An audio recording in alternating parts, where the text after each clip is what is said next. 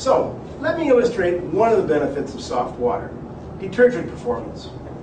I've already pre-filled this vessel with 150 milligrams of hard water directly from the tap.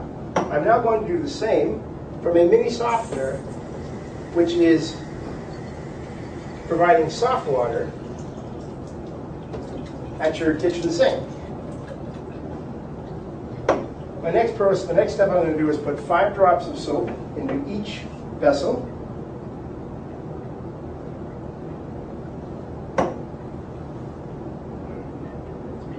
Five. Now, as you can see, the vessel in my left hand is hard water. It's cloudy, it's murky. The vessel in my right hand is soft water with the same amount of detergent, however, it's crystal clear. By agitating both vessels, as you can see, I have lots of suds in the soft water side, no suds at all in the hard water side.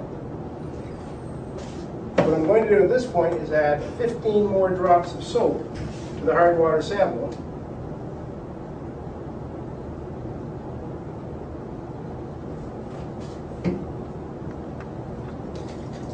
Agitate it some more.